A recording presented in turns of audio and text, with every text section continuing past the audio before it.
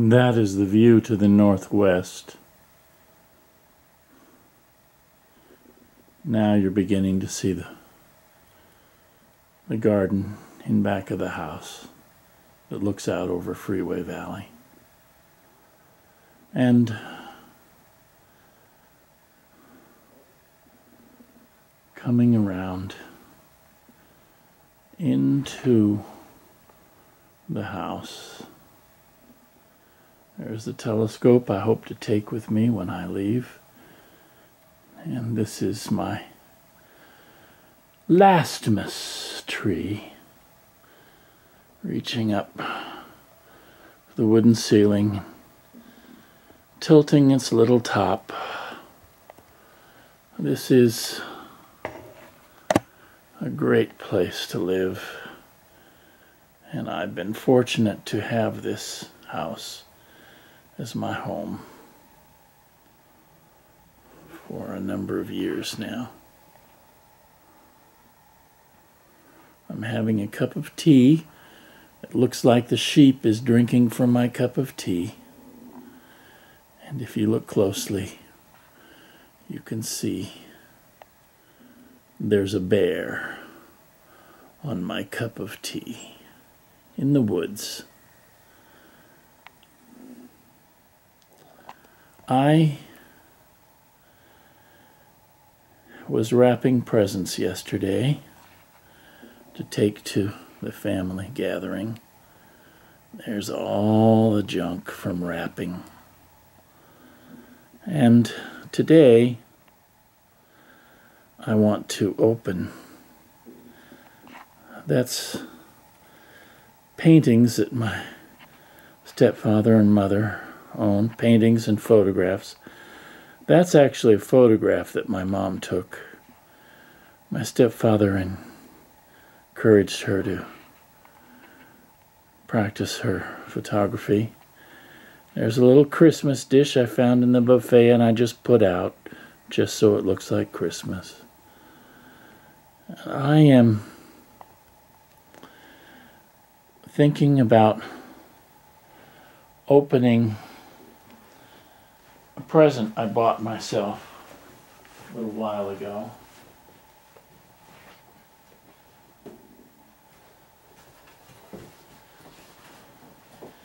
It's uh,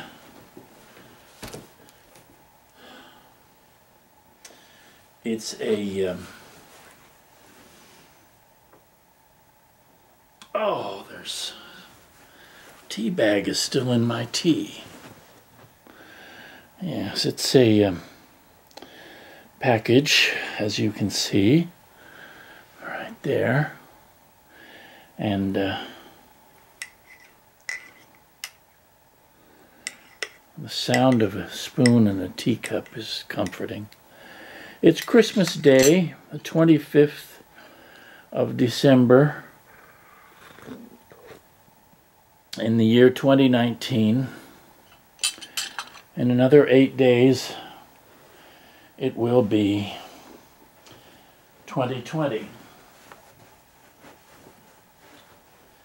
Now, I have to move things around here because I filled everything up with stuff to make this room look like Christmas.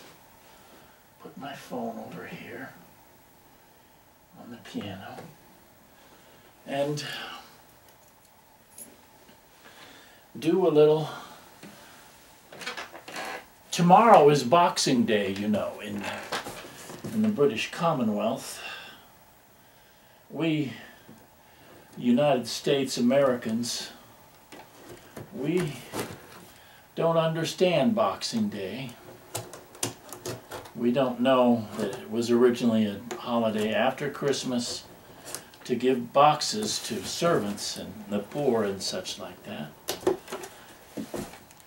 We always, or at least when I was a child, I used to think when I heard of Boxing Day, it meant that it was the day to get all the boxes from the presents that you've been fortunate enough to receive the day before, on Christmas Day, you take all the boxes the next day and get rid of them.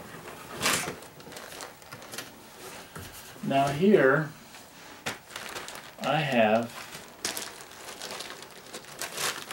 self-inflating cord foam air pad. And this is one of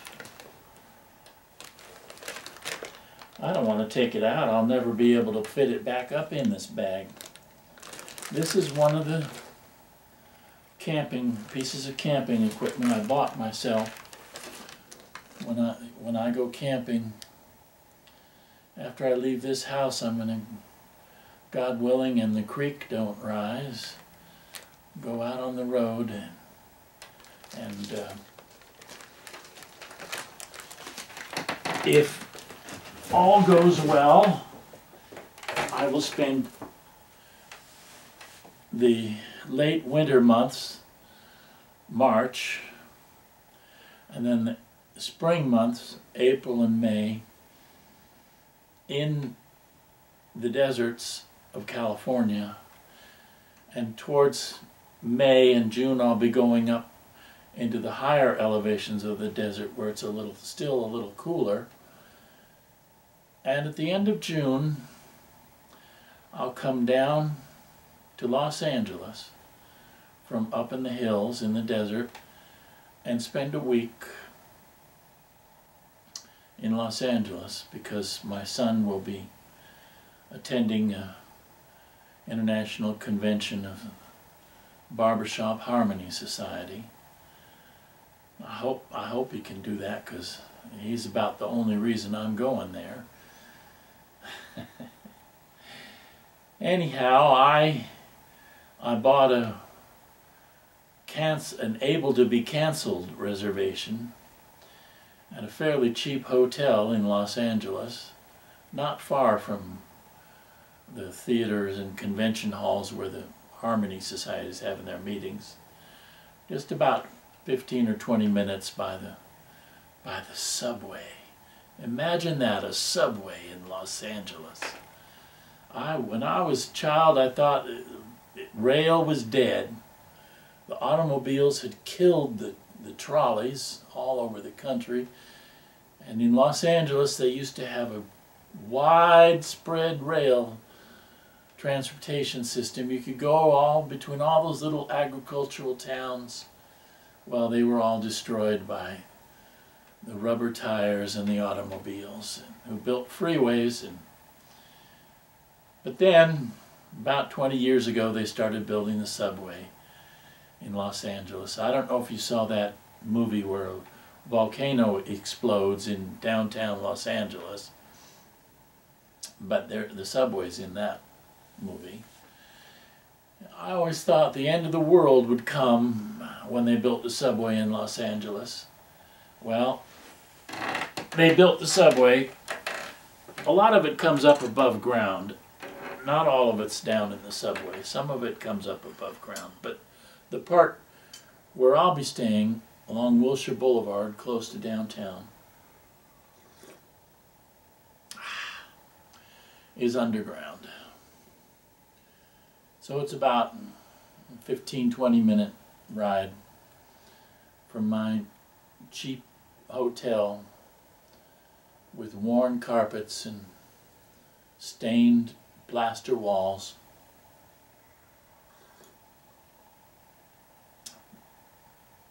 to um, the convention center downtown.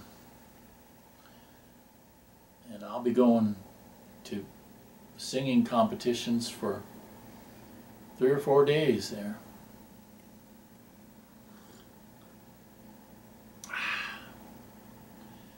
I did have one other thing I wanted to show you this beautiful little lamb that I found as I was looking for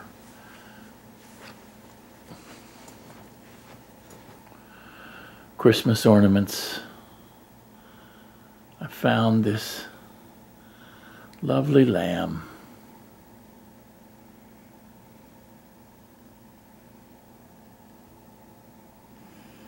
Of course, it's not often that a sheep wears a wreath around its neck, but this one is.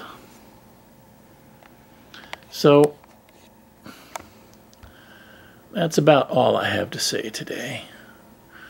I shaved through here, got rid of all the scraggly hairs on this side, and I trimmed it a little bit. It used to come down. It was all you. If you watch any of my videos, you saw how ugly it was. Still have to trim it off, make it a little smoother, but I just couldn't stand that raggedy look anymore, so I trimmed it up a little bit before I went to the family party last night. And uh, I'm glad I did that. The women kissed me on my cheek. They wouldn't have done that if the scraggly hairs were itching at their faces. Anyhow, because it's the 25th of Christmas, it is now the first day of Christmas. Christmas has begun. It's 12 days long. New Year's Day, when most of us think Christmas is over and done with, New Year's Day is only the eighth day of Christmas. The twelfth day of Christmas is the 5th of January, and the day after that is the Epiphany, which is the day, according to the mythology, the three kings came with their gifts. And uh, all across Latin America and some countries in Europe, the children put their shoes outside at night, and the kings come by and leave presents in their shoes.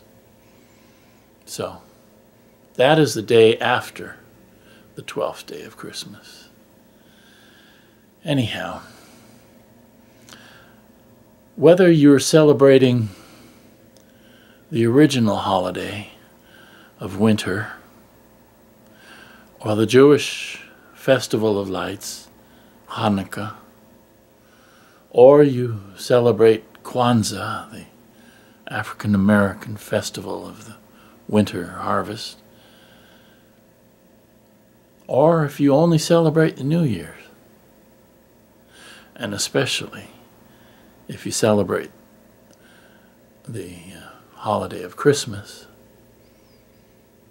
all those days, while we're wrapped up in this madness of consumer buying and buying and buying and giving, Uncle Sam wants a new tie. What's that?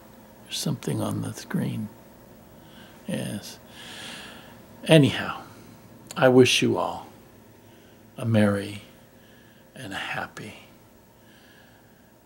And remember, it's only another day. We make it be special. You who are watching me are my friends in the great tube, the series of tubes that is the internet. And I'm grateful. I watch your videos and you watch mine. And with that, I will say, Happy holiday.